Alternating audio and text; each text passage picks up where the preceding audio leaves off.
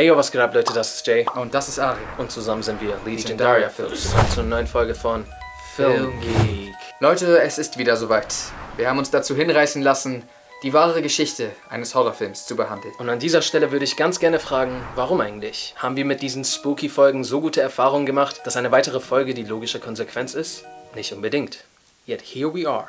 Und zwar hat uns der neue Film von Jordan Peele und Nia DaCosta namens Candyman zu dieser Folge inspiriert. An dieser Stelle auch einen riesigen Shoutout an Universal Pictures für diese gruselige Kooperation. Also schnappt euch etwas Popcorn, macht's euch schaurig gemütlich, denn wir erzählen heute die wahre Geschichte hinter Candyman.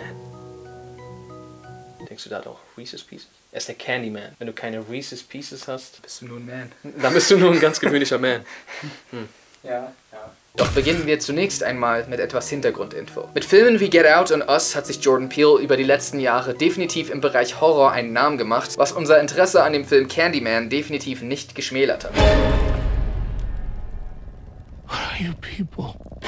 Aber zwei weitere Sachen solltet ihr über den Film, welcher am 26. August in den Kinos erscheint, unbedingt wissen. Beginnen wir mit Sache Numero Uno. Ein Film namens Candyman wurde bereits im Jahre 1992 veröffentlicht. In diesem Film begleitet der Zuschauer Helen Lyle, die bei ihrer Recherche in der Uni von Chicago auf die Legende des Candyman stößt. Candyman soll der Sohn eines ehemaligen Sklaven gewesen sein. Als er sich auf eine romantische Beziehung mit einem weißen Mädchen einließ und sie ein Kind erwarteten, scheint dem Vater des Mädchens die Sicherung durchgebrannt zu sein. Und so ließ der rassistische Vater den jungen Mann quer durch die Stadt jagen, ihm eine Hand absägen und schließlich, von Honig übergossen, von tausenden Bienen erstechen. Daran starb er.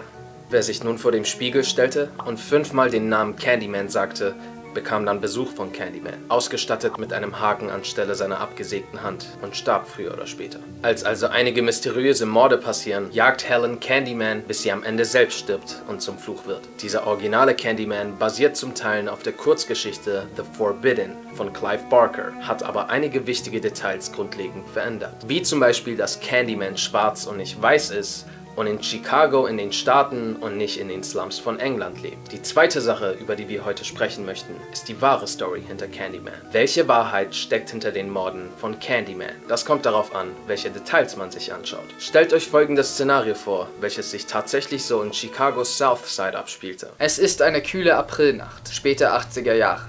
Der 22. April 1987, um genau zu sein. Das Telefon klingelt.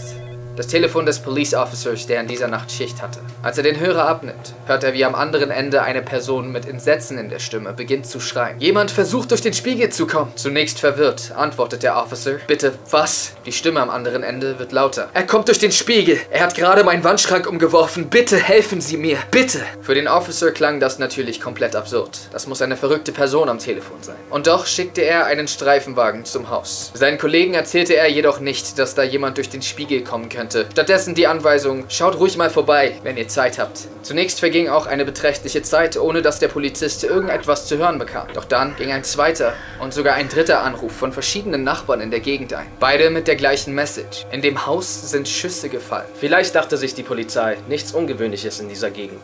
Vielleicht glaubten sie es auch einfach nicht. Sie wollten aber definitiv kein Risiko eingehen. Und obwohl im Endeffekt mehrere Streifenwagen zum Haus kamen, brachen sie daher die verschlossene Tür von Ruthie McCoy nicht auf. Es könnte aber auch daran gelegen haben, wie Menschen Ruthie wahrgenommen haben. Wer sie kannte, wusste, Ruthie war ein bisschen anders. Auf der Straße sprach sie meistens mit sich selbst. Und wenn sie mit anderen Menschen sprach, dann um diese zu beleidigen. Von außen betrachtet war es für viele ungewiss, inwiefern Ruthie in derselben Realität lebte wie der Rest. Wenn also eine Person wie Ruthie sagt, dass jemand durch den Spiegel gestiegen kommt, um ihr etwas anzutun, hat eventuell der eine oder andere Schwierigkeiten damit, diese Angst ernst zu nehmen. Was auf eine ganz andere Art und Weise traurig ist. Zwei Tage später bohrte Ruthies Betreuer das Schloss auf und fand sie leblos mit vier Kugeln im Rücken. Die Geschichte von Candymans ersten Opfer, Ruthie Jean, ist fast identisch. Auch sie wird von den Nachbarn als verrückt wahrgenommen und stirbt in ihrer Wohnung allein, obwohl sie die Polizei um Hilfe gebeten hat. Doch was steckte hinter Ruthies Tod?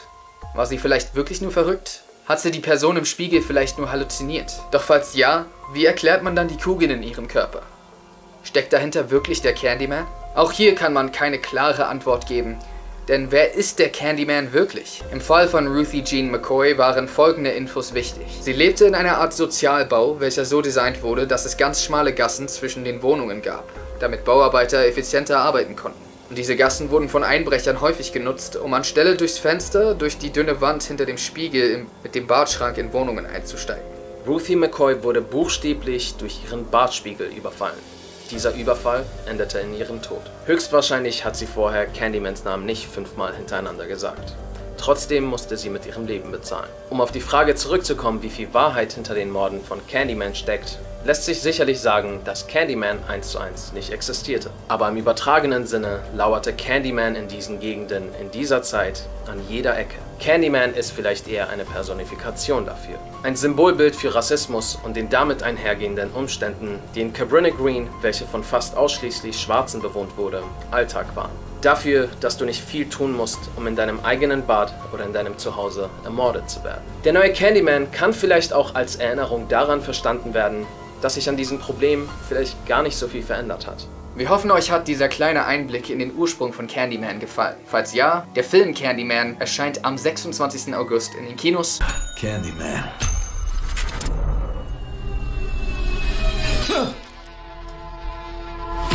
Damit es keine unklaren Anweisungen gibt, wenn ihr ins Kino geht und auf spiegelnde Flächen trifft. Sagt alles, was ihr wollt, außer fünfmal Candyman. Sagt auch nicht viermal Candyman, weil irgendwer anders kommt vorbei. Ganz kurz, du hast es jetzt schon richtig oft gesagt und so, das spiegelt auch ein bisschen. Also die Kamera. Okay, dann sollten wir uns lieber jetzt verabschieden. Wie oft haben wir Candyman schon gesagt? Vielleicht solltest du aufhören, das zu sagen, um das zu fragen, wie oft wir es schon gesagt haben. Und vielleicht gehen wir jetzt einfach, bevor wir noch öfter kennen. Hm? How to reason! Pesen. Candyman.